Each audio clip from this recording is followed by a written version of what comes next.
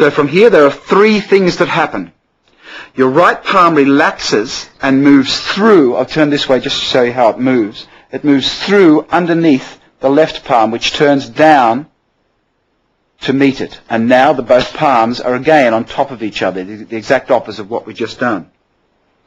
That's the first thing that happens. You inhale on this movement as well. You also pick up your right heel and turn slightly to the right to the northeast.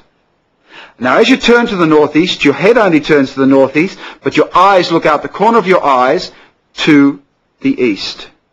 Inhale. Now you pick your right foot up. This is also, so again important so as to get a correct bow stance. You pick your right foot right up off the ground and place your heel exactly where it was. Stretch it out. Again, pick it up, stretch it out, open your toes and place your heel exactly where it was. Now as you roll forward, it's a little bit like the move we just did, except the left hand's going to stay where it is and flex. You roll forward onto your right leg. Your right hand comes up in front of you like you're holding a ball, and the left hand flexes lightly in, in, in back of it.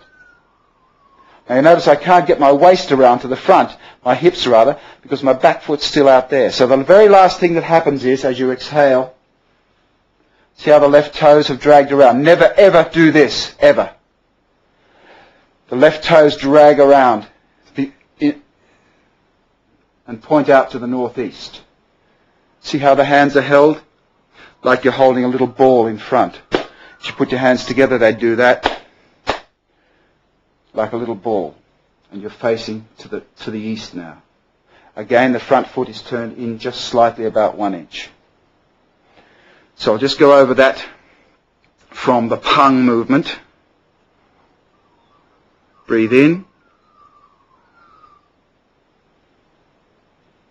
And breathe out as your back toe comes around 45 degrees.